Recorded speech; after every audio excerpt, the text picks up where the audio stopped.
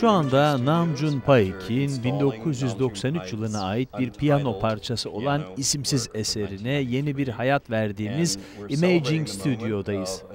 Aynı zamanda iki senedir devam eden eseri koruma amaçlı projemizin de bitişini kutluyoruz. Bu süreç bir video heykeli için koruma rüyası ya da koruma kabusu olarak adlandırabileceğimiz her türlü sorunu içerir. Çünkü esere ait bazı parçalar ya çalışmıyordur ya da çok yakın bir gelecekte çalışmayacaktır. Gördüğünüz gibi heykelin parçalarından biri de gerçek bir piyano. Piyanoya baktığınızda diğer parçalar bir yana bu enstrümanın bile tamire ihtiyacı olduğunu düşünmemek elde değil. Anlaşmamız olan bir şirketle görüştük ve şirket yetkilileri piyanoyu gördüklerinde dehşete düştüler. Piyanonun durumu oldukça kötüydü. Tuşlar soyuluyor, tokmaklar yerinden çıkmış ve bazı kısımları görsel olarak gerçekten de çok ama çok kötü durumdaydı. Piyano için detaylı bir durum değerlendirmesi yaptık eskiyen ve kötü durumda olan parçaları tamir edip mecbur kaldığımız noktalarda ise yeni parçalarla değiştirdik. Piyanonun üstüne, yanına ve altına 15 tane televizyon ünitesi yerleştirdik. Kanal sokağındaki Steel Electronics'i aradık. Şirketin sahibi Steve Louis daha önce Nam Jun Paik ile çalışmış. Bunun içinde Nam Jun Paik'in beklentileri hakkında çok iyi bir fikri vardı. Arka plan için yeni bir cihaz istiyorduk ve bunun için epeyce uğraştık. Televizyonlar dört değişik görüntüyü oynatıyor. Görüntülerin iki tanesi güvenlik kameralarından geliyor.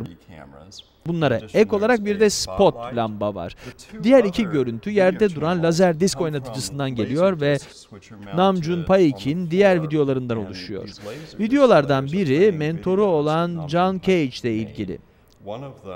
Merce Cunningham'ın görüntülerini de içeriyor. Diğeri ise piyano tuşlarının hareket ettiği soyut bir video. Eser elimize ulaştığında bu videolar eski video kasetlerden oynuyordu.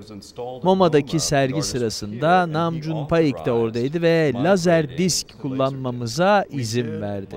Videoları lazer disklere aktardık ve artık sıkıştırılmış QuickTime formatındalar.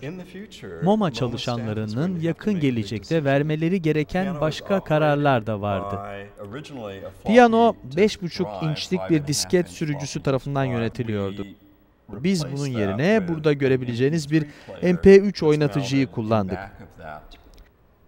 Piyano tuşlarının son ikisinde Paik'in imzası ve tarih var. Bu eseri gerçekten de tamamen özel kılan bir durum. Eserin yerleşimini dün tamamladık. Eserin eski fotoğraflarına ve adım adım kurulum kılavuzunun da arasında olduğu belgelere sahip olduğumuz için yerleştirme işlemi çok zor olmadı. Ama yine de eğer Namjoon Paik eserin bu halini görseydi bence kesinlikle bize kahkahalarla gülerdi diye düşünüyorum. Kendisi parçaları ilk yerleştirdiğinde her şey gelişi güzeldi. Örneğin her yandan sarkan kablolar vardı ama biz bunu düzgün yapmalıydık. Nam Jun Paik bir performans sanatçısı olduğu için işinde şansın büyük payı var. Eğer hayatta olsaydı onun yapmayacağı şeyleri yaparken ve belki de vermeyeceği kararları verirken elde etmek istediği şeye sadık kalmak zorunluluğunu üzerimizde daha çok hissedecektik.